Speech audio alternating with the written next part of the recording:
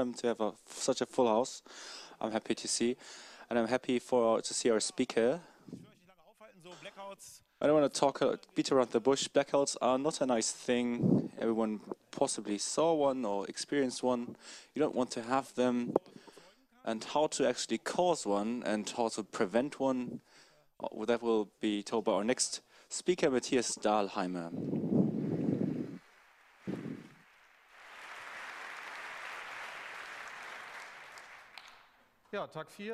Day four, you're planning your trip home, so thank you for coming so in so many numbers.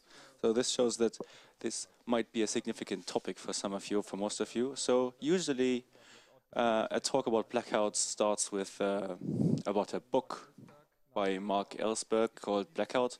I like this book way better. This is the basis of this um, novel from the Office for uh, Technical Analysis.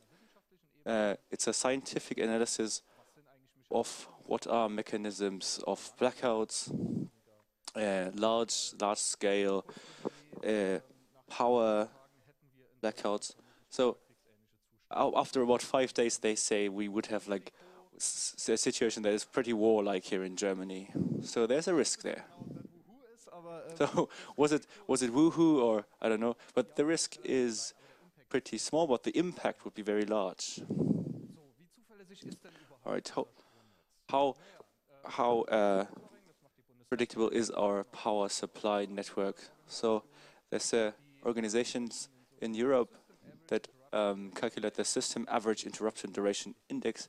It's uh, pretty hard to pronounce, but this is just a number that says within a year how many minutes was there no power available for a consumer. And if we have a look at this, that's around about 13 minutes. So that's for Germany 2008 to 2013 plotted for, for this duration, duration renewable energies um, were, were like improving a lot. So about 30% of our energy comes from renewable energy sources.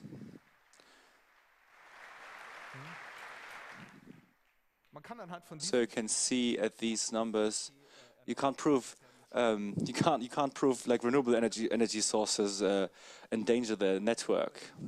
But let's stay at this SAIDI number. How do we calculate that? So there's um, paragraph 52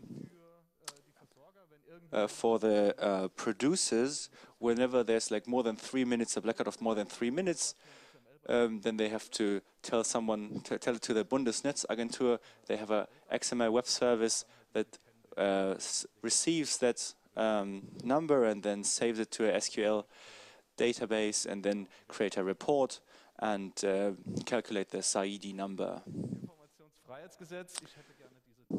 So, um, so I, I, requested this database. It took about nine months using the Freedom of Information Act. Um,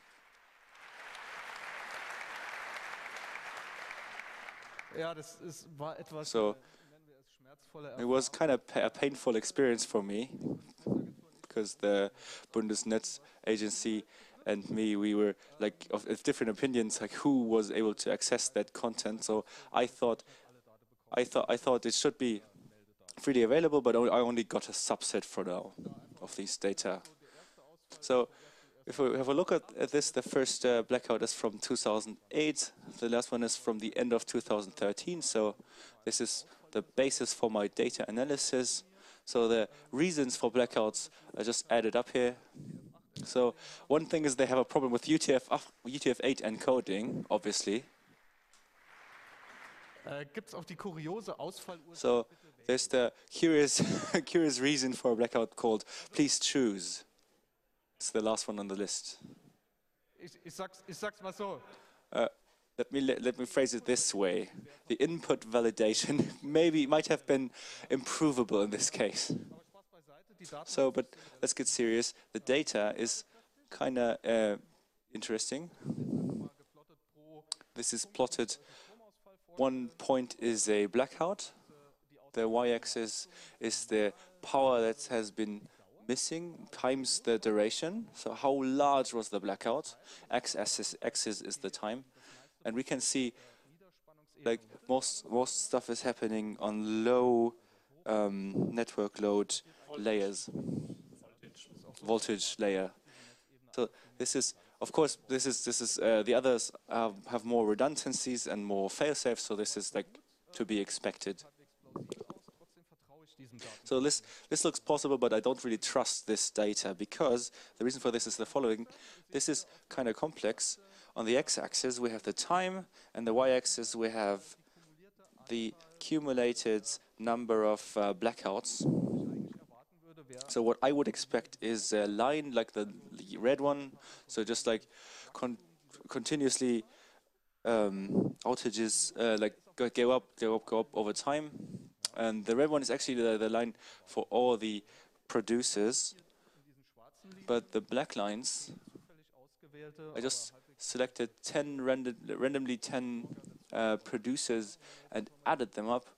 And let's look at this this value 641 that's a curve that looks pretty weird. 2008 this producer had like four outages. 2009 it was 29 2010 it was 1900 2011 57 and so on. And what made me pause was this jump in 2010 that's actually a line exactly um, that, that actually changes changes inclination directly when the years are changing. So this is not something that would be explainable physically, more like organizationally. So the Bundesnetzagentur, we, don't, we don't know how this how they score these data, but I have some questions for this. So if someone from the agency is uh, able to explain this to me, I would be very grateful. So the official statistics and the official monitoring, I think it's kind of curious. Uh, I don't, I want don't want to say it's bullshit, but I have some questions. So how does it work? The, how does the planning work? The the reliability or the dependability in our generation network or in the distribution network. There are some criteria, and the the most important criterion is the n minus one security. It says if, if I have n n big devices and, and, one fails, the rest has to work. And that's necessary because I need to do maintenance to uh, fix a, a, high voltage line, uh, something like that. And with these, in this, uh, here we have three phases that are transmitted and two two wires transmit one phase and the other wire can fail and the other one will still work if if there um, are reserves. So, so let's take a step back. How does it work? Uh, the power generation system, and this is from Wikipedia, and I really like to use that because it is quite complex, even if it's a, a very a very abstract level. Uh, what is there in a in a electricity network? There is the network itself, or the grid, in different voltage levels, uh, high voltage, uh, 220 and 380 kilovolts, um, then the high voltage and uh, medium voltage and lower voltage. And uh, it branches out into the um, households, and what we get is low voltage, and the highest voltage, one tries to reduce the losses on the, the line losses by the higher voltage. And the whole operation is is very strictly regulated and by the federal agency for a network for electricity, gas, telecommunications, etc. And you have uh, different generators on different levels of the network. Uh, with the big nuclear power stations and coal-fired power stations, uh, they're on the highest level, and they are medium, um, medium-level power plants on the medium or high voltage level. There are wind wind generation parks and uh, big photovoltaic or solar power stations. And what is new and where the renewables really make problems in the grid is, if that, is that you have generation units on the lowest level, on the low voltage level. But this is just a, a, a side remark. Um, I'm not going to get into details about that. And then you have the consumers. There are industrial consumers, even on higher network levels, and but mostly on the municipal networks on the lowest level, and uh, and there is also generation on that level. So, um, wenn ihr euch eine, eine Folie okay, so if you want a slide for the workings of the power generation network, and it, then it must be this slide. The generated power must equal the consumed power. There's practically no way to store uh, electricity in this in this um, on this scale. If when I turn on my TV, somewhere more power must be generated. Otherwise, this wouldn't work. And the network frequency, the 50 hertz, uh, they are the indicator for imbalance, for power imbalance. And you can think of it as like this scale. If uh, generation and consumption, um, then it's 50 hertz and everything is fine. And if you have too much load uh, over the generation, then my network frequency goes down. On the other hand, if you have if I have too much generation and too little load, then the frequency goes up. And that is the indicator which can be used for regulation um, how much power is required. And you measure the network frequency and you know how many do I need to uh, fire more coal. And when I started uh, started getting into this into the into this topic, there were no freely available data. Um, many companies measure that, and many service providers uh, measure that. Um, for um, for the electricity market, but freely available and high resolution, there were no data available. And I said, okay, I, am going to build this myself. It's just a micro microcontroller. It's a Raspberry Pi. and can still be optimized, but for more than a year and a half, I have um, data records of uh, different devices. And I had a talk about that, about this project, how that worked in the background. And uh, so but for this talk, I only use the data that I've recorded from that project. So that was that about um, network grid, the power grid, and let's get back to the blackout. The scenario that we always um, hear in the press, the hacker attacks a nuclear power plant. Uh, is that something special? Is that a problem? Or what, what does the network do in that case? What, you can observe that. Here's a, here's a nuclear power plant. It's uh, Gundremmingen. And on the 25th of 25th of March, there was a, um, a, a scram uh, emergency shutdown. There are three reactor blocks. The first is uh, is down, and the second was not not operated. The third was operating, and the maintenance caused uh, caused an outage of the uh, pressurized air supply, and there was a was an emergency um, shutdown. Uh, a trip of this uh, nuclear power, power plant.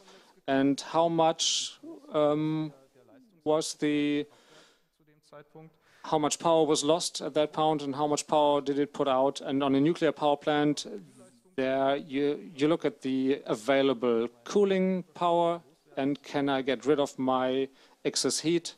That's one of the important factors in a nuclear power plant. And uh, I looked around with weather data and uh, asked, and uh, okay, they said it was uh, at maximum performance, maximum power, it was 1.3 gigawatts at the time of the outage. And this is the frequency, and you can see on the x-axis is the time, and the y-axis is the frequency. And you can see uh, in the beginning it was uh, very close to 50 hertz, as it should be, as it is normally, and then during in a very short time, uh, this is 19 seconds, there's a very quick drop down to the frequency. It's about 50 millihertz.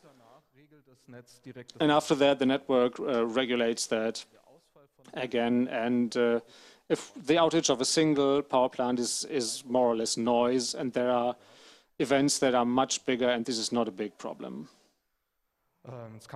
And we can look what uh, forces are at work here.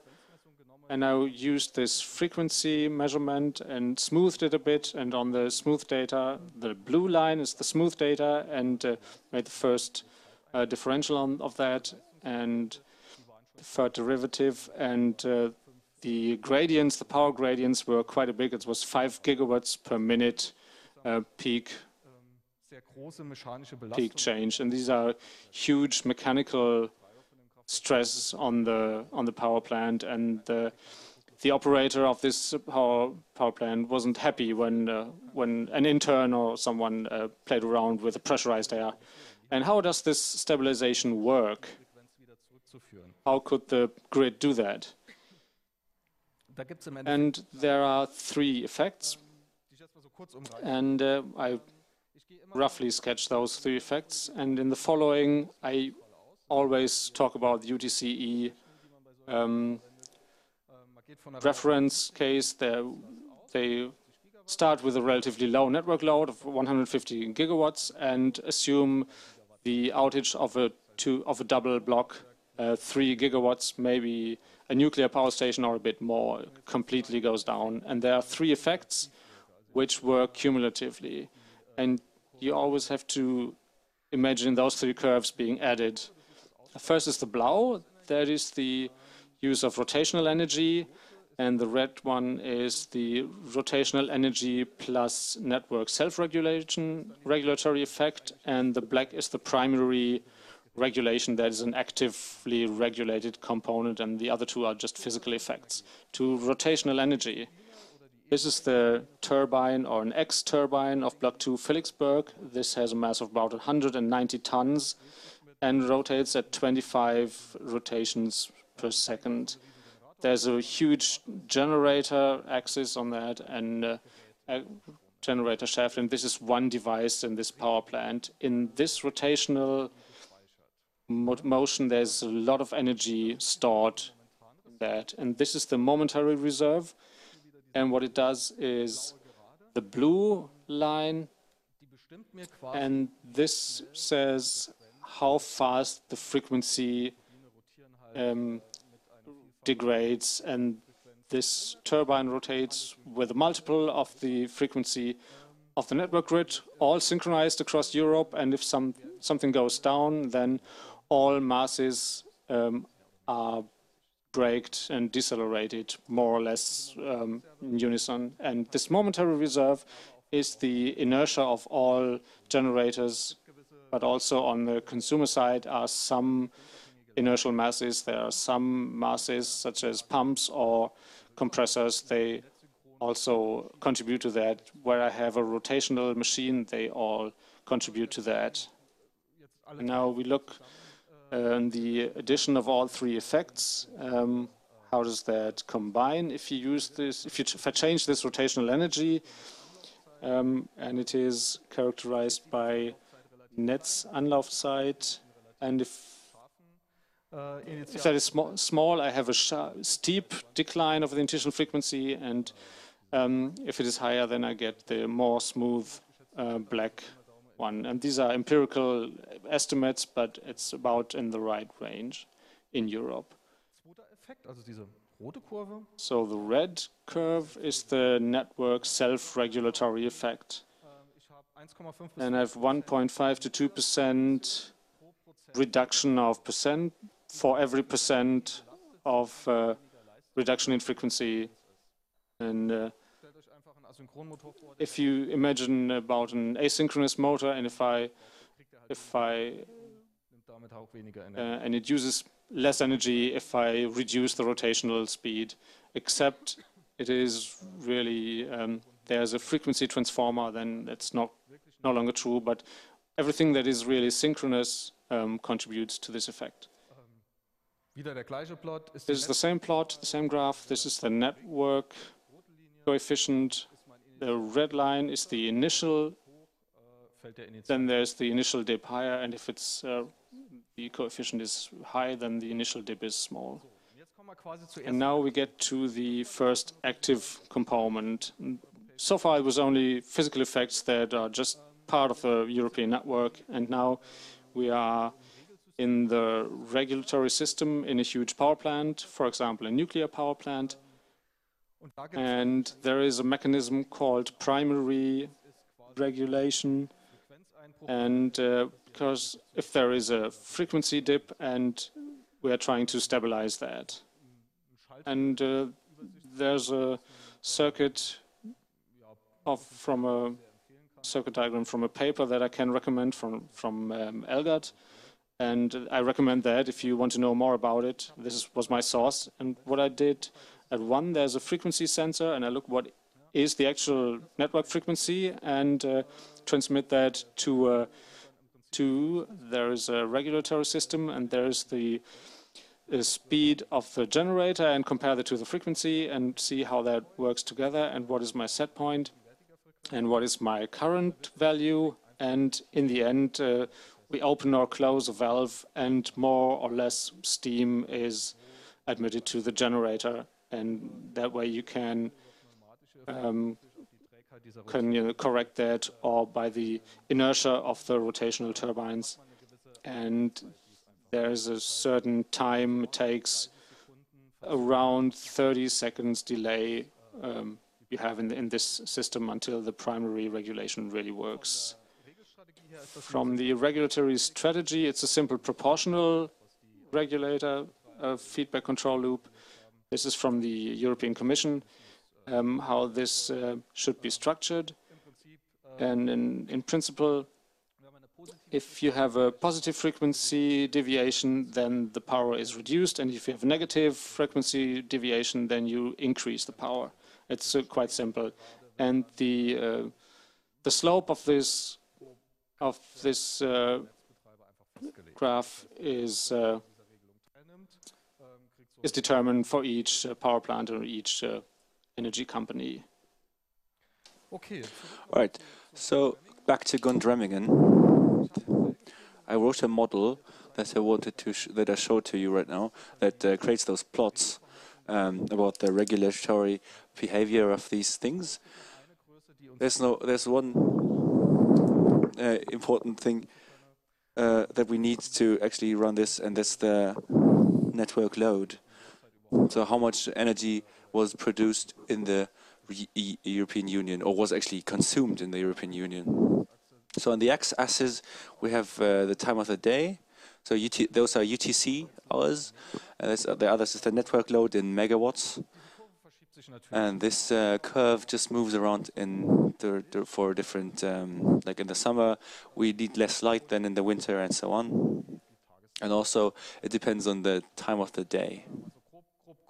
So if we roughly look at the so 20, 25th of March, uh, 7:35, when this um, was about 405 gigawatts uh, of consumed energy. Yeah. Okay. So this is my measured data uh, laid over the model. The green line is the actually measured network frequency, and the other lines you already know. If you look at the black line at the top, the hockey form stick there, that's pretty well balanced on one uh, le level, like uh, almost before the outage.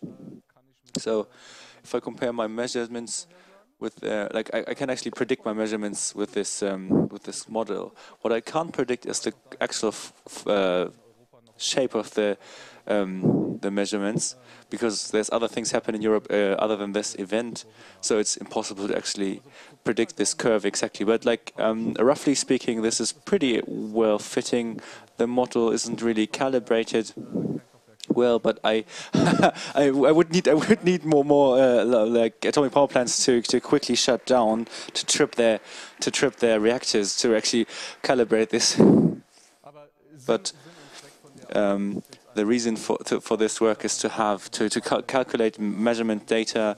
What happens when atomic power plants uh, have outages, and then how can I improve this model in the future? So just so we have a measurement, like how how big is uh, how, how how big is the delay to um, how big is the delay to reestablish stability in the network? How large are these? How large uh, a delay can we actually survive? So what happens if uh, consumers uh, have disturbances, producers, sorry. So physical effects stabilize the network in the first 10 seconds. So without the physical effects, this would not work because we don't have a regulation that happens that fast. Then after that, the primary regulation takes effect. So if I wanted to cause a blackout, I, want I would have to get a, create a huge jump in the network frequency. So the primary regulation like would take in like take take effect too last. The same happens for uh, consumer outages. So, for example, if I go in a like uh, industries or private homes, whatever uh, whatever consumes power, whenever I just disconnect that from power, then the frequency goes up. But basically, it's the same effect. Good.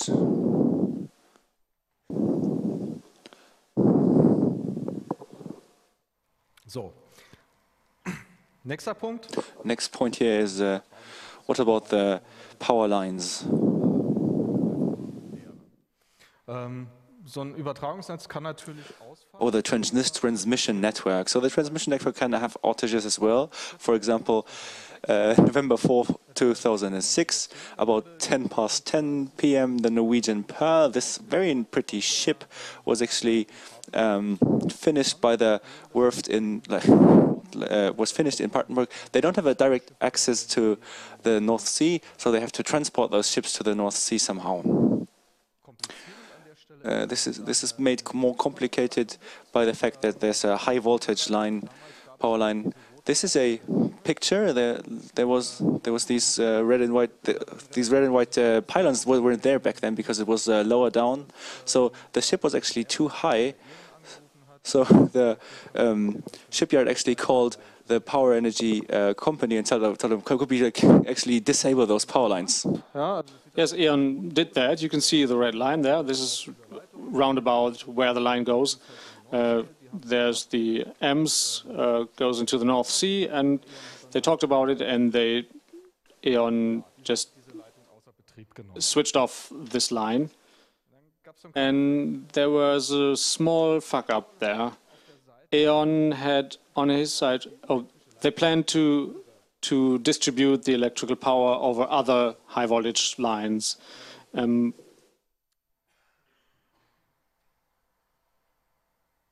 and on E.ON's side of one of those lines, there was a. They assumed that the trip value for um, a circuit breaker was 3,000 amperes, and on the other side, on uh, RWE, was the same um, circuit breaker with 2,100 amperes. And E.ON made a calculation and said, oh, well, okay, we are at 2,500 amperes, and it's maybe, it's just, just a, an imagined value, 2.5 or something, but uh, it's below our, our trip value, so um, it'll be safe. And of course, this uh, line tripped, and because the situation in the grid just transferred a lot of power, there was a chain reaction and an outage cascade. And every number in this slide is the trip of one high voltage line. This was uh, across the Republic, across the country. And the consequence was that, that the European grid separated into three areas with different frequencies. And here you can say areas such as Spain, France um, had an under frequency, Hamburg had over frequency, and uh, in, the, in, an easterly direction and in the southeasterly direction was under frequency again, and ungood really. So, and there were three network frequencies in the graph in in the plot. Äh, and that wasn't quite as good, and when they tried to fix it, the blackout was around uh, 10 past 10 in the evening, and around 22.34, so 25 minutes later, they tried to reconnect two areas, and it didn't really work, and it really took nine attempts to physically reconnect the network networks.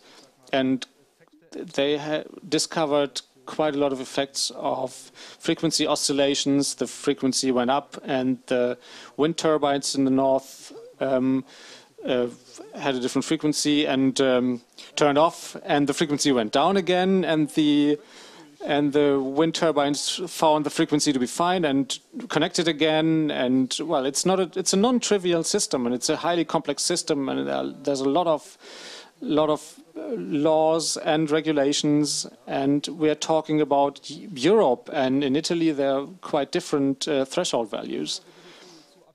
And to make another another abstraction here and uh, make it better understandable, I thought about another scenario. This is a little Python script uh, which uh, implements, simulates the IEEE 24 reliability test system. So there are um, power flows in the American um, high voltage network. No idea what it's actually called there. But you have to imagine behind every one of these little green circuits, there's a network segment. There's a lot of, there's a lot that's behind that. Um, and in a normal operation, uh, for example, between 6 and 10, the line um, has overcapacity and is operated overcapacity. That happens sometimes. And it's just a small overcapacity. It could also be more. And uh, so I shut down the line between 16 and 14. 16, uh, 14 is uh, still still supplied, and this is the n minus one security, and it continues working. And if I now shut down the line between 11 and 14, 14 is isolated, but there are further effects. The line between 11 and 13 doesn't uh, transmit any energy at all anymore. And why or how and where which power plant is and how it was supplied before, the, you can't see that in this in this example, but it, there are non-intuitive connections and now I trip the line between 3 and 9, and now a lot of stuff happens. Now I have between 8 and 7 an outage. There's a, it's sort of in a completely different place now place, and now between 16 and 19, there's a line which uh, slowly heats up. And between 1 and 3, there's a line which is operated at 250% of nominal capacity and so we assume that will soon go down as well. And now we have the case, well, it's just, just an example to make it more understandable. And now we have the case that one has two working lines but cannot be, cannot be supplied because of physical effects, of the underlying physical effects. Um, and the conclusion for the grid is um, electricity networks are extremely complex and every every event, every action, for every switching action will be checked um, and uh, for the consequences on the net. And usually that works. Everything goes fine. And uh, such a cruise ship is not delivered every day. So, but inherently, these nets uh, are uh, are prone to cascade outages or cascade effects. And if something goes wrong, more can go wrong. And the um, behavior of this network is not intuitive. So you can't look at the network plan and make an X and you can understand everything that goes on. But, but you really have to make a complex simulation. All right, this is exacerbated by the increasing transport of energy. There's a liberated European energy market. Uh, energy is actually being brokeraged at the at the further. So uh, French people can actually buy Austrian energy and just let them send the energy across the networks. But the networks actually have to transport this energy. So uh, platform transport. this is from the network transparency platform of the European power producers. This is just a random screenshot. The data is online. You can have you can have a look at them. And this is a situation where. Um, the energy is being distributed through the uh, through the through Transnet DE uh, from France to uh, the, the uh, Switzerland and Austria. So just business as usual. This just uh, so this is completely uh, irrelevant. What else is happening in the network of Transnet? So there's a brokerage of energy. So the possibilities also to to move around these this energy and this an, an, an additional exacerbation of the networks. So when we look at the energy brokerage, so this is an event that's just random from my data set. This is not something very important or something very um, like that springs into eye. This is a situation from September 2014, shortly after midnight. The frequency dips rapidly. it's uh, from like the very top to the very bottom, we're about 160 or 170 millihertz. So about three atomic power plants worth that just break away. This is something that's very normal. It's a, a brokerage artifact that doesn't have a physical reason behind it. Nothing uh, broke down, but it's a consequence of energy brokerage. So I found lots of these events and just uh, calculated a median network uh, frequency across the times of the day. So I took my data and just like calculated a median frequency and plotted that, and this is the graph that comes out there. So what I was expect is that it would just result in about 50 hertz, but as you can see, the middle, the network frequency has structures, very visible structures. And so if we have a look, a closer look at this, so this is uh, zoomed in, then we'll find every hour there's an event. So in the evening, I have to go back, sorry. They go down in the evening and in the morning they go up. In the midday there's uh, less events, but like in the morning and afternoon, uh, in the morning and evening, there's the events are larger. So this is a the reason behind this is this uh, energy is brokeraged in hours or quarter hours, and uh, you see single products in this market being traded and the next uh, the next power plant like taking over the the power production for this. So this is my recipe for a blackout. You need a a jump in energy in produce, and this has to be quicker than the frequency regulation. So the primary regulation can't take effect, and I have to find a constellation where maybe I can find an outage cas cascade in the power network that like exacerbate this even more. So what I wanted, what to dis I want to disturb the equilibrium be between creation and consumption. So concretely, if I wanted to do something, I would find a day with lots of wind, because uh, wind power plants are not part of the primary regulation.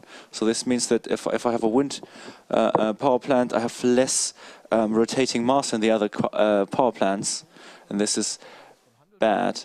Then I want to find a uh, position with the trading data where lots of, of energy is exported in different networks. For example, from France to Great Britain, which which are part of the power network, and I would try to find a change change between hours, like a, a time of the day where there's lots of irregularity anyway, and then I just need to quick jump in network energy. So this is my plan of attack. So shortly before Christmas, hacker infiltrated parts of the US power grid okay, obviously, if it was hackers or uh, governments or some non-transparent organizations, whoever that is, it's a software system, so it is being attacked somehow.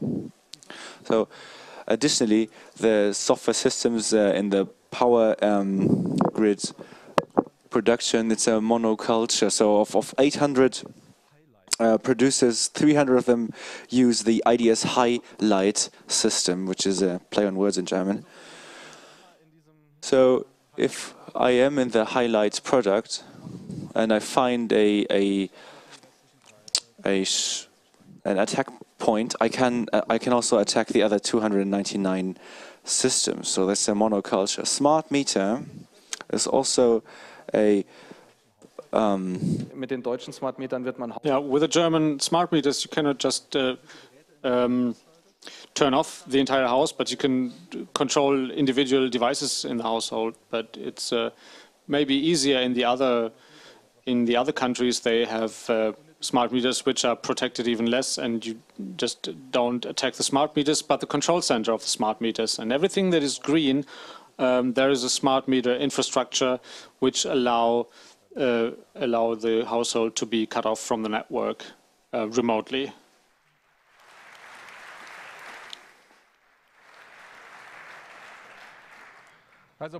So potentially, without without having looked at the systems in detail, um, not not in, in any detail, but this is a computer system, and there's the possibility to switch uh, to switch rates and tariffs, and, and maybe you can uh, predefine times at which those change, and uh, maybe you can find some scripts and uh, and influence that, and maybe this that's a good point in time, and maybe shut down half of France. But it's uh, it's even simpler.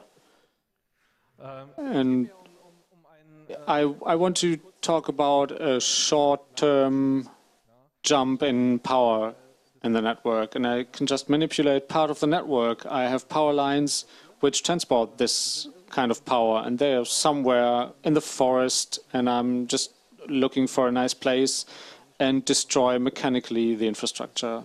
And if I do it good, and if I, I just destroy that part of the infrastructure that is the most critical, and that is just the homework that I'm not going to do.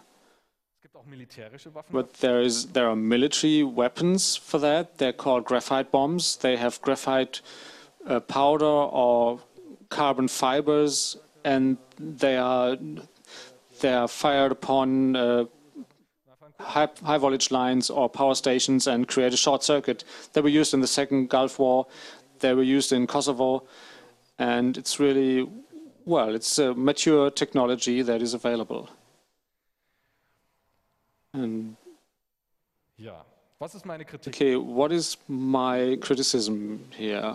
In the beginning, I said uh, there's this n minus one criterion, and one part uh, goes down and the rest has to continue working. But what happens around that? What does the energy grid do, and where are the weak points?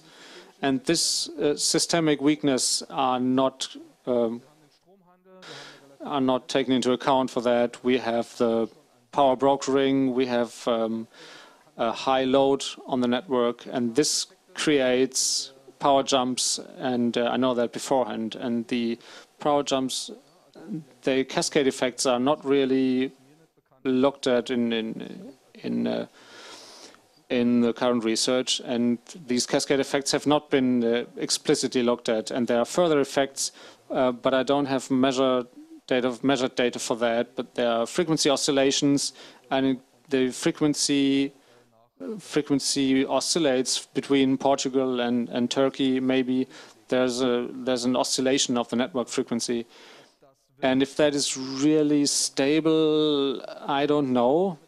There are some there are some records uh, in the grid operators, but I haven't found. I don't have any any measuring points outside of Germany. But if you want to do that, um, just uh, contact me and I'd be very grateful. But uh, what can we do?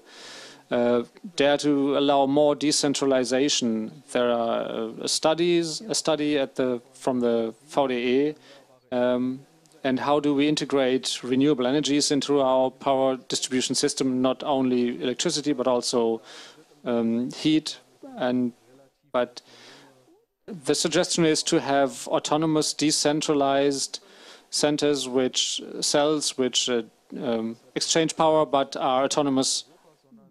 So we don't have one huge system across Europe, but small-scale structures. What else do we need? Uh, we need stabilization on the low voltage level, but uh, the system hasn't been built, built like that. But we create the energy at the high level and uh, distribute it to the lower level. But right now, we also generate at the low level and send it upwards. And so there's no primary regulation in a photovoltaic rectifier. So, um, and we have to do things there, but there are efforts um, to get active there and to create new regulation. And I'd, I'd really like to have autonomous cells in the power grid. A city such as Kaiserslautern uh, with the surroundings could um, could supply its own power and maybe it can exchange power with the neighboring cell. But if there's fine weather and everything works, then then that thing can really work autonomously.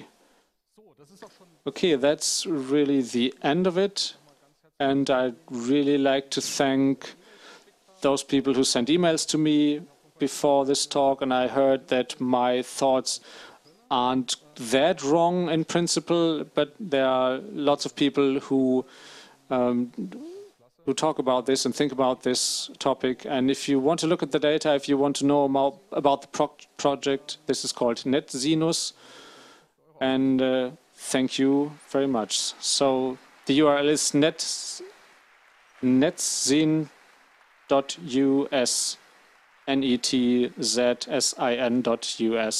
Thank you very much.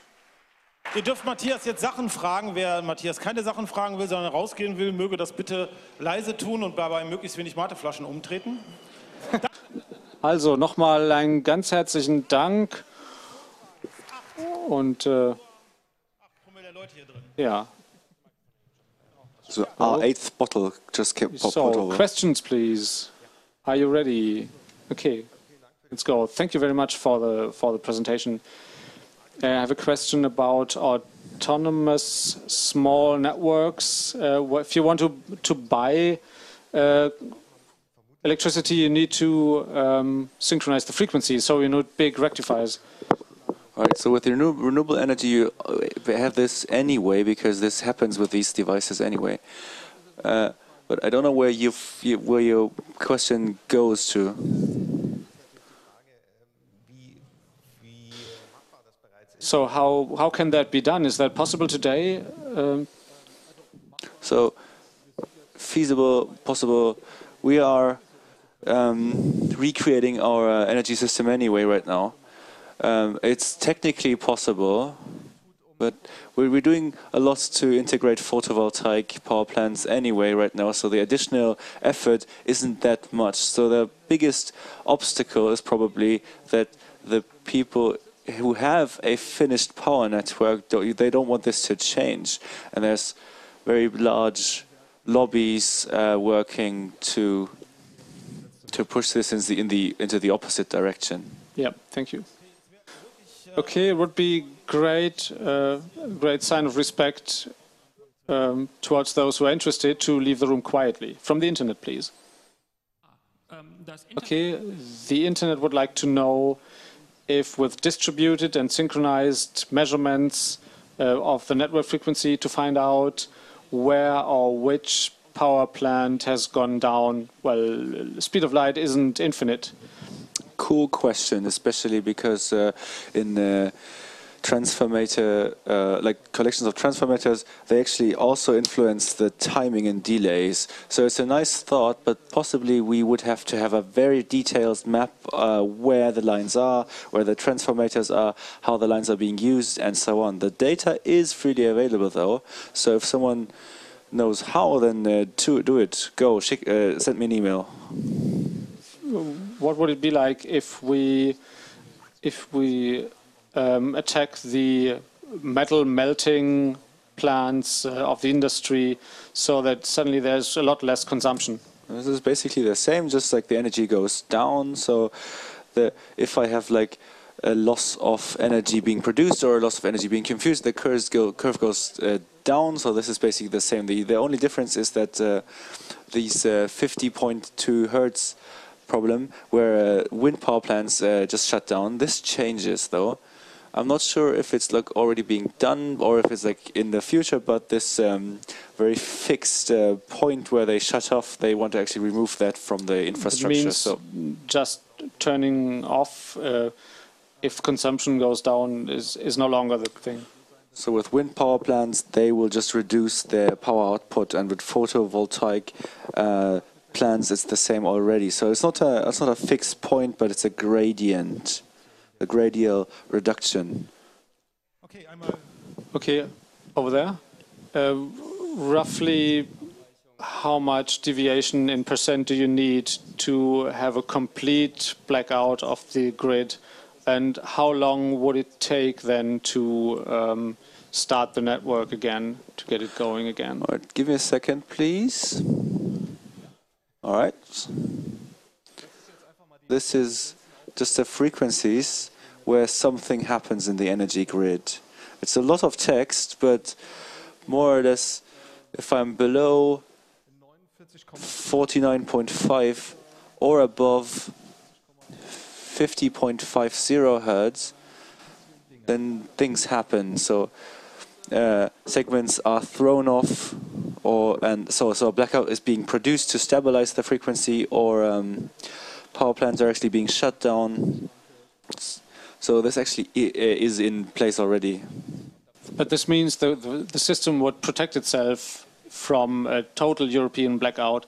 So and it would just kick out Hamburg from the from the uh, network. Well, Ham Hamburg but would just be noise, but but for example, you go to um, steel melting facilities and just steal their energy. There's like special contracts that allow this, like to, to just like close off their energy for a short time. So this means that we, we would have to trip this very quickly to actually but like so, this. So sorry.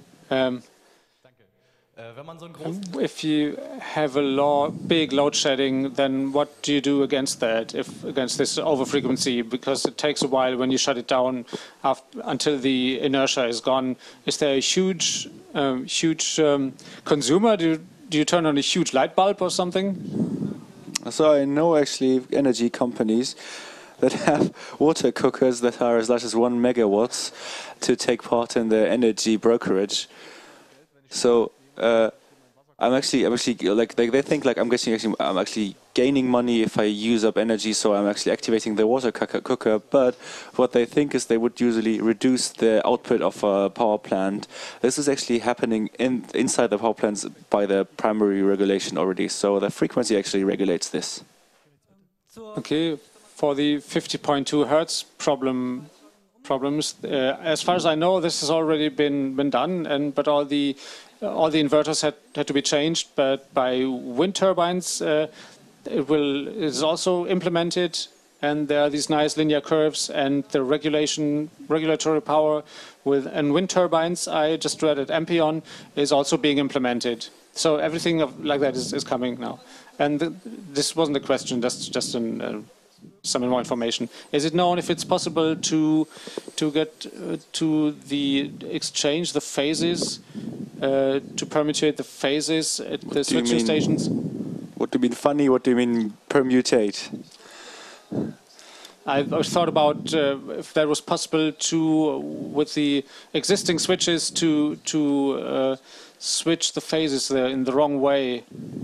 Well, I don't want this to exclude this. Like with a, if you just like throwing a spanner into the system, that would actually like forge itself then into the system but this would be very a small and very local effect, so not in this uh, size. From the internet, please. Okay, the internet would like to know if you have data about the so-called Earth hours, where people say between today, uh, between seven and eight, everyone turns the light off. I have. I have data, but it's on the website. But I haven't actually looked at it. I just looked if uh, the event detector that I um, that I'm actually like running, uh, if that if there's something happens during the Earth hour, and there was no impact that I could measure or discern. But take the data, have a look yourself. Don't trust me. Okay, in Austria, there's diesel and and petrol. Um, they create much more power than over the electricity grid. And if you try in the next uh, few years, maybe 20% of the uh, cars to convert them from uh, combustion to electric, then I wonder what happens to the electric grid. Do you have models or thoughts about that, or what would happen, for example, if if a controlled car is suddenly uh, switches from charging to discharging, or vice versa? Right. So there's a lot of people who are thinking about exactly this topic, and I'm not that deep into it, but the nice thing about a battery is that uh, it can actually, in a very short duration, it can like shed a lot of load or receive a lot of load.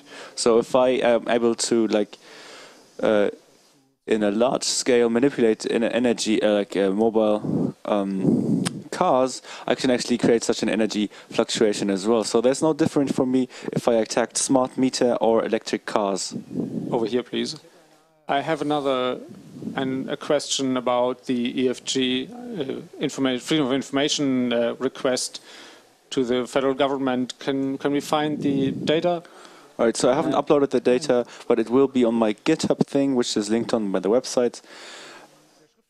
And uh, like the letters exchange isn't finished, finalized yet. It's on fragdenstaat.de though, documented. Not right now, but give me two to three days and then this will be the case. Okay, you said five days until civil war. And how many candles and ravioli and mate did you stockpile?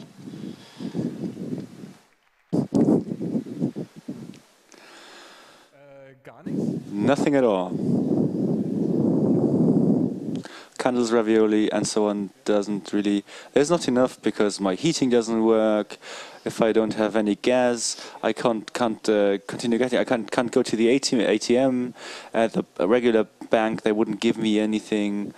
So my catastrophe prevention is pretty bad but it's also bad for others here as well. So the internet, please, as long as it's still as it's still there.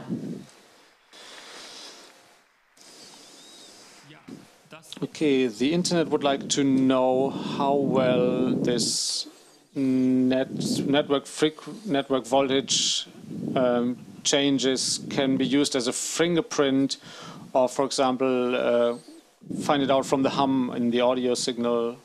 Um, all right, so there's two things in my head right now. All right, so can I uh, take take the hum of audio and then like recreate like the idea like um, when was this and by, by matching like this to the background hum of the network and I think it's pretty it's feasible but you need well high resolution measurement data and the other thing that's going through the media every time is like if, to, if I distinguish like the light and dark um, pattern in like TV shows, uh, then when was this actually to determine when was this actually being watched? Um, I tried to have a look at this. I can't really um, understand it. Yeah, I would like to know how the synchronization of the generators works between the different power plants. Sorry. Uh so you gotta you gotta just like stop me. Yeah, but it's interesting. All right, so on the left side you see the just an image of like the the power network, and the round things are generators, and you can just imagine this. The the L1 line, they are just like coupled through the L1 line, and so my network sinusoid is just like oscillates over the network, and so the generators just synchronize over the network sinusoid. And if they wouldn't do that, mechanically there would be lots of stress.